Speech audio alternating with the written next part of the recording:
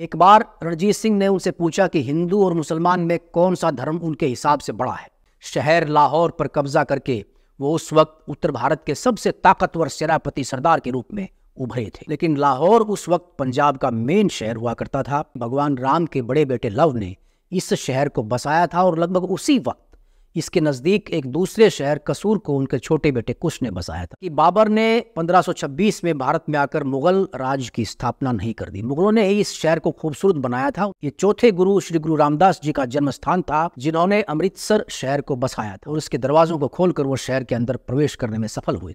हिंदुस्तान को जीतने का झुनझुला उसने पकड़ रखा था। उसने रणजीत सिंह को कई ऑफर्स दिए और लाहौर की जीत के बाद तो मन में छुपा हुआ जहर जैसे फूट पड़ा थे जहाँ पर दोनों सेनाएँ आमने सामने थी वहाँ से लाहौर शहर नज़दीक था तो उनको तो बसीन के देहाती इलाके में देसी दारू और नाचने वालियाँ लड़ाई लड़ने से बेहतर लग रही। पर अरजीत सिंह ने अपनी कमर से बंदी तलवार को खोला और बाबा जी के सामने ज़मीन पर रख दिया। और इसी तरह से दूसरे सभी सरदारों ने अपनी तलवार उतारकर ज़मीन पर रख दी। लगभग एक घंटे तक तलवारें उसी तरह से ज़मीन पर ही रखी रही। अब वो महाराजा बन चुके थे, लेकिन उनकी राजनीतिक सूझबूझ ने उनको महाराजा और एक किसान नेता के बीच एक ज़बरदस्त कि उन्होंने अपनी दस्तार के ऊपर राजघराने का प्रतीक पहनने से इनकार कर दिया। बाहरी आडंबर और दिखावे की मुझे कोई ज़रूरत नहीं है। सिंहासन पर बैठने से उन्होंने इनकार कर दिया था और अपनी छोटी सी कुर्सी पर ही पाँव मोड़कर बैठ जाया करते थे।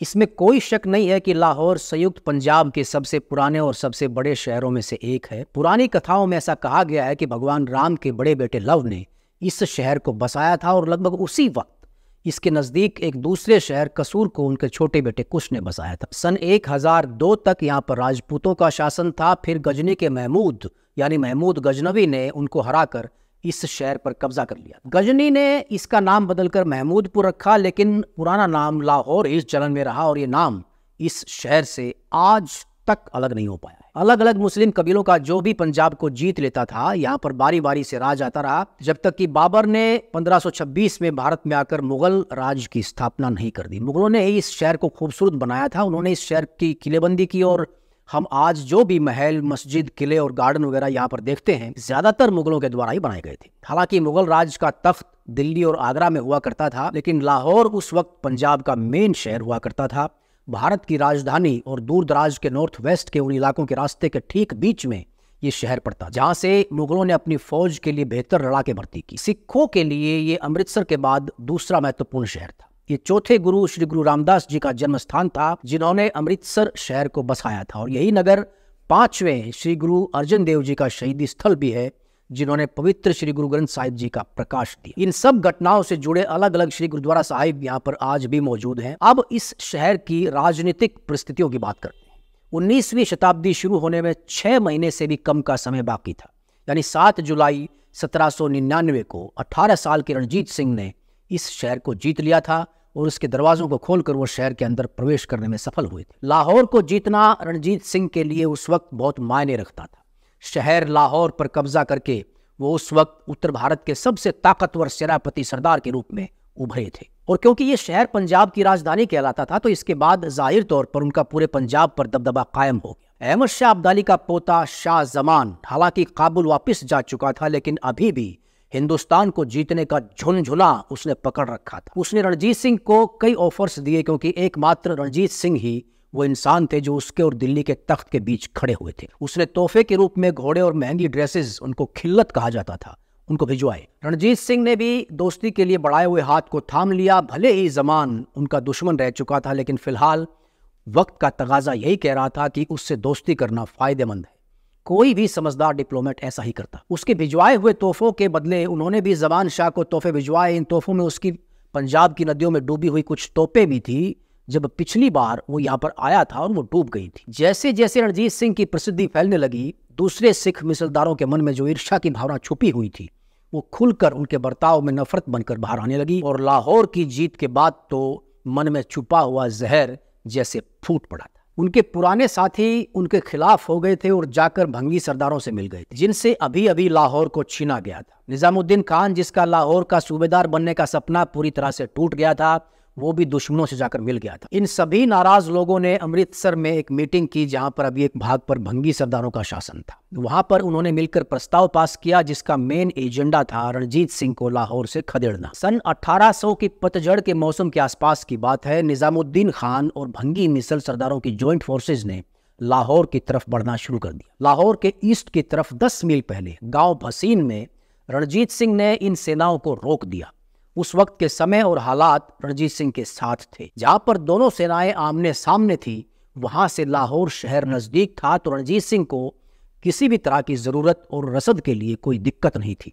वहीं उनके खिलाफ जो ये संयुक्त मोर्चा बना हुआ था, ये एक ढीला ढाला गठबंधन था, जो महज एक नफरत की भावना के आधार पर बना था। उनके मुख्य सरदार गुलाब सिंह बंगी कड़ाई से कोई भी डिसीज़न नहीं ले सकते थे। उनको तो बसीन के देहाती इलाके में देसी दारू और नाचने वालियाँ लड़ाई लड़ने से बेहतर लग रही थी। ज़्यादा देसी शराब पीने से उनको हेमरेज हुआ और उनकी वहीं पर मौत हो गई। बाकी संयुक्त सेना और उसके सरदार निराश हो गए और वहाँ से पीछे हटकर तीतर बीतर हो गए। रणजीत सिंह लाहौर लौट गए। उनके पास इस वक्त जो सबसे बड़ी दिक्कत थी, वो थी पैसे की। इसी वजह से अगले दो महीनों तक उन्होंने अपनी फौज को किसी भी हमले अभियान पर नहीं भेजा। लेकिन अब एक बार फिर रणजीत सिंह की किस्मत ने उनका साथ दिया। जब वो शहर के साहूकारों से लोन लेने की सोच ही रहे थे तभी लाहौर शहर की बाहरी दीवारों के पास एक पुराना खंडहर जिसका नाम बुद्धूदा आवा था। वहाँ खंडहरों में खुदाई करते वक्त बीस हज़ार सोने की मोहरों से भरा हुआ एक संदूक मिला। अब सब कुछ उनके फेवर में होता जा रहा था। दुश्मन हार कर भाग चुके थे, खाली खजाना वापस भर चुका था और अब लोगों को लगने लगा था कि रणजीत सिंह ही अब लाहौर के ऊपर राज करेंगे। ऐसी संभावनाएँ बनती जा रही थी। चढ़ते सूरज को सब सलाम करते हैं। ये दुनिया की रीत है और शायद कुछ दिन के बाद सारे पंजाब पर ही उनका शासन होगा। दूर दूर से लोगों के झुंड के झुंड उस नौजवान शुक्र चकिया सरदार के दरबार में सलाम करने के लिए पहुँचने लगे। दूसरे सरदारों के बेटे उनकी सेना को ज्वाइन करने के लिए आने लगे। बड़े बड़े विद्वान और डॉक्टर वहाँ पर अपनी अपनी सेवाएँ देने के लिए हाजिर होने लगे। कलाकार, कारीगर और शिल्पकार शाही दरबार की सरप्रस्ती पाने के लिए पहुँचने लगे। दरबारियों के जत्थे शाही परिवार का हिस्सा बनने के लिए आए, तब रणजीत सिंह किले में शिफ्ट हो गए। और किले के ओक्टागोनल टावर, जिसको मुसम्मम बुर्ज कहा जाता था, वहाँ पर रोज़ाना अपना दरबार लगाने लगे। दोस्तों, ये वही मुसम्मम बुर्ज था जहाँ पर सिर्फ़ एक साल पहले इसकी रकाब पर खड़े होकर अफगान बादशाह शाह जमान को ललकारा था रणजीत सिंह ने। बटाला में सदाकौर और उनके बुज़ुर्ग रिश्तेदार सरदार दल सिंह, जिनकी सलाह वो खास मामलों में लिया करते थे, उनके खास सलाहकारों में से थे। उन्होंने मिस्र रामदयाल को भी अपने रोज़मर्रा के कामों को संभालने के लिए दरबार में बुला लिया। नौजवान फतेह सिंह आलूवालिया ने भी उभरते सितारे रणजीत सिंह को मिलिट्री अफेयर्स के मामलों में सलाह देने के लिए उनसे नजदीकियाँ बढ़ा। रणजीत सिंह को पहले से ही एक प्रकार की हाइपोकोन्ड्रिया की समस्या थी, जिसके कारण वो वैद्य और डॉक्टरों को अपनी इन काल्पनिक बीमारियों के लिए अक्सर बुलाते रहते थे। हाइपोकोन्ड्रिया में आपको एहसास होता है कि आप बीमार हैं। लेकिन आप बीमार होते नहीं। गुलाम मोहुद्दीन नाम के डॉक्टर थे, जिनको आँख की बीमारी के लिए बुलाया गया था। डॉक्टर के साथ उनका बड़ा बेटा अजीजुद्दीन भी था, जिसने यूनानी दवाइयों की ट्रेनिंग ले रखी थी। रणजीत सिंह को इस पढ़े लिखे नौजवान का स्वभाव और बोलचाल का तरीका बहुत पसंद आया और उन्होंने उसको दरबार में सेवा देने के लिए पेशकश की, जिसको उन्होंने स्वीकार भी कर लिया और जल्द ही अपने पिता की जगह शाही वैद्य के पद पर आसीन हो गए अजीजुद्दीन फिर चीफ असिस्टेंट बने और उसके बाद फॉरेन मिनिस्टर के पद तक पहुँचे। वो एक सूफी विचारधारा के आदमी थे और इसी वजह से किसी भी दूसरे धर्म के लिए उनके मन में कोई दुर्भावना नहीं थी। एक बार रणजीत सिंह ने उनसे पूछा कि हिंदू और मुसलमान में कौन सा धर्म उनके हिसाब से बड़ा है? तो उन्होंने बड़ा चालाकी से उत्तर दिया कि, सरकार, मैं तो एक बड़ी सी नदी के बीच धार में तैरते हुए आदमी की तरह हूँ, जिसको कि ज़मीन की तलाश है। और जब मैं दोनों किनारों की तरफ़ देखता हूँ तो दोनों मुझे एक ही जैसे लगते हैं। इनमें कोई फ़र्क नहीं है। रणजीत सिंह अभी पंजाब की सत्ता से दूर थे। लाहौर की जीत के बाद दोस्तों से ज़्यादा उनके दुश्मन बन गए थे। भसीन में जो कुछ हुआ, उसके अनुभव के बाद अब उन्होंने ठान लिया था। अब विरोधियों को इतना वक्त ही नहीं देंगे कि वो उनके खिलाफ मोर्चा बना सके। सबसे पहले उन्होंने जम्मू के राजा की खबर ली, जिसने अफगानों के साथ कोलाब्रेशन किया हुआ था और अपनी सेना के साथ चार मील शहर के अंदर तक पहुँच गई थी। तब राजा ने समर्पण कर दिया और एक हाथी के साथ बीस हज़ार रुपए जुर्माना भी चुकाया। इसी अभियान के दौरान उन्होंने वेरोवाल, नारोवाल और सरसोवाल शहरों को अपने अधिकार में ले लिया। यहाँ से लौटने के तुरंत बाद उन्होंने गुजरात शहर के साहिब सिंह भंगी से निपटने पर ध्यान दिया, जिसने अकालगढ़ के सरदार के साथ मिलकर गुजरावाला पर हमले का प्लान बनाया था। दो बड़े सरदारों के बीच की खुली दरार ने विदेशी ताकतों को नोते का रास्ता साफ़ कर दिया था। शाह जमान ने पूरी स्थिति को समझने के लिए अपने दूत भारत भेजे। हांसी में बैठे जॉर्ज थॉमस ने सतलुज तक के इलाके पर कब्जा करने की योजना बनाई। एक फ्रांसीसी जनरल था, जनरल पैरॉन, जिससे मालवा के दूसरे सरदारों ने मदद मांगी तो उसने बदले में पंजाब का एक बहुत बड़ा हिस्सा लेने की शर्त रख दी। तब एक बार फिर से मुश्किल वक्त में बाबा साहिब सिंह बेदी उभर कर आते हैं। उन्होंने जॉर्ज थॉमस के खिलाफ मालवा यानी सतलुज और यमुना के बीच के इलाके में सरदारों को इकट्ठा करने की कोशिश की। और जब उन्होंने भंगी सरदारों और रणजीत सिंह के बीच झगड़े के बारे में सुना तो तुरंत वहाँ पहुँच गए और श्री गुरु महाराज के नाम पर दोनों पार्टियों को हथियार डालने का हुक्म दिया। बाबा साहिब सिंह जी की इतनी प्रतिष्ठा थी कि सरदारों ने बिना किसी भी विरोध के उनकी बात को मान लिया। वहाँ पर जैसा हुआ, उसको सोहन लाल इस तरह बयां करते हैं कि बाबा साहिब सिंह जी के कहने पर रणजीत सिंह ने अपनी कमर से बंदी तलवार को खोला और बाबा जी के सामने ज़मीन पर रख दिया। और इसी तरह से दूसरे सभी सरदारों ने अपनी तलवार उतार कर ज़मीन पर रख दी। लगभग एक घंटे तक तलवारें उसी तरह से ज़मीन पर ही रखी रही। फिर बाबा साहिब ने तलवार उठाकर रणजीत सिंह की कमर पर बाँध दी और कहा कि अब जल्द ही इसके सारे दुश्मनों का सफाया हो जाएगा और पूरे देश पंजाब पर इनका राज होगा। बाबा साहिब सिंह के कहने पर रणजीत सिंह ने गुजरात शहर को छोड़ दिया, लेकिन उन्होंने अकालगढ़ के सरदार को भंगियों का साथ देने और उनके किले पर कब्जा करने के लिए सजा दी। और उसकी मौत के बाद उसकी सारी जायदाद पर कब्जा कर लिया। रणजीत सिंह ने जुलाई 1799 में लाहौर को जीत लिया था। अब साल था सन 1800 का। सर्दियाँ बस अभी अभी गुजरी ही थी। हालाँकि रणजीत सिंह को पंजाब के उभरते हुए सेनापति सरदार के रूप में भारी इज़्ज़त और सराहना मिल रही थी, लेकिन वो अपने आप को महाराजा की उपाधि यानी टाइटल से नवाजने में झिझक रहे थे, क्योंकि अभी वो ऐसा कुछ भी नहीं करना चाह रहे थे जिससे कि बाकी सरदारों को उनके खिलाफ षड्यंत्र रचने पड़े, लेकिन अब उनके द्वारा इकट्ठा होकर ऐसा करना आसान नहीं था। हालाँकि रणजीत सिंह जानते थे कि अगर वो उपाधि धारण कर लेते हैं तो इसके काफ़ी फ़ायदे भी होंगे। इस कदम का जनता के द्वारा स्वागत किया जाएगा, जिसके पास बीती कई सदियों से अपना कोई शासक और अपनी कोई सरकार नहीं थी। ये पंजाबी मुसलमानों और हिंदुओं को भाषा, राजनीति और इकोनॉमिक इंटरेस्ट के बेस पर सिखों से जोड़ेगा, जो पंजाब के आज़ादी के लिए लगातार लड़ रहे थे। अगर वो महाराजा के टाइटल को धारण कर लेते हैं तो आस पड़ोस में शक्तिशाली और दूसरी इंपॉर्टेंट शक्तियाँ भी, उनको ये मैसेज जाता है कि पंजाबी लोग यूनाइटेड हैं और रणजीत सिंह उनके महाराजा।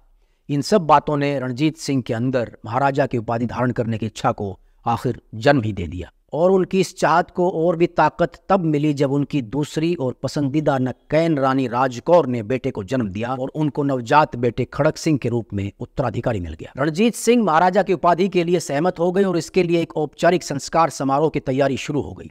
उनके क्षेत्र की सभी मस्जिदों, मंदिरों और गुरुद्वारों में प्रार्थनाएँ की गई। बैसाख की पहली तारीख को, जो कि नॉर्थ इंडिया में हिंदू कैलेंडर के अनुसार नए साल का दिन था अंग्रेज़ी तारीख की बात करें तो 12 अप्रैल 1801 का दिन था।